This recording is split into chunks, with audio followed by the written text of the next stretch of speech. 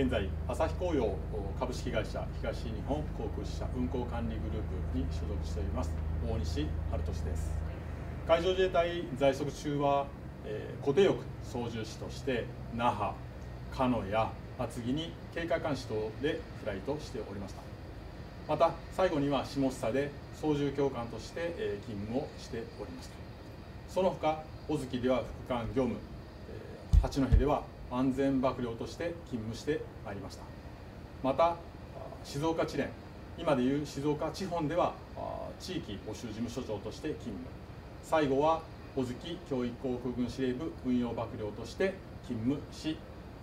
2022年1月定年退職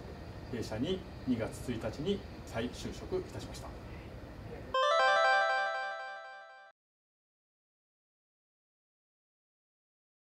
はい。元操縦士の目線から航空機の運航にかかる業務に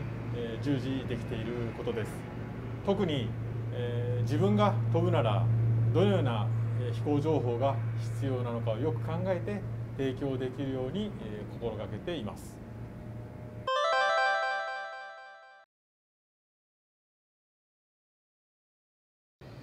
私がやはり操縦士として勤務しておりましたので航空機の運航に関する調整要領に加えて前職において航空各社の主要事業いわゆるドクターヘリとか物流作業の運航者との調整をした経験があります。この運航者の目線で考えられることは非常に役に立っているというふうに考えております。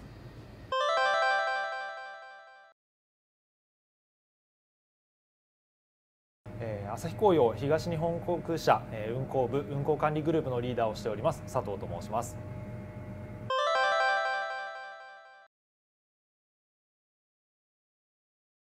えー、大西さん、えー、はですね、えーと、本年、えー、2022年の2月に、えー、弊社に入社いただきました、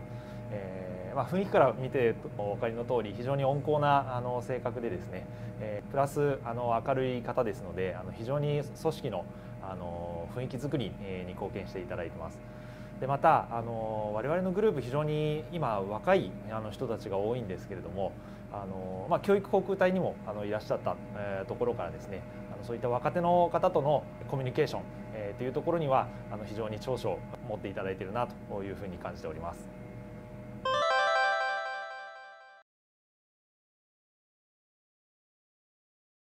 採用実績、としてましては、現在、海上自衛隊出身の方が、6名、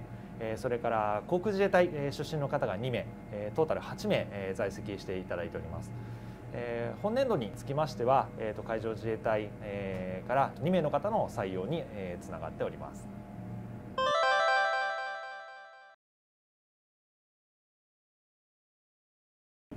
弊社では事業展開の状況によって即戦力となる方をキャリア採用という形で採用しております。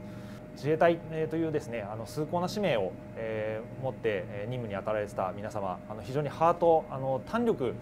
の部分であの非常に期待をあの大きく持っておりますいろいろな経験からのスキル、えー、という部分とともに、えー、自衛官として、えー、培われてきた人柄、えー、そういった部分に期待を、えー、持って採用につなげております。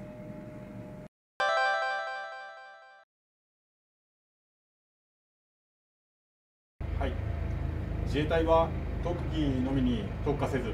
さまざまな配置で、え勤務することで危機管理能力リーダーシップ、え総合判断力さらには教育指導能力も非常に持っております。ぜひ採用を検討していただければと思います。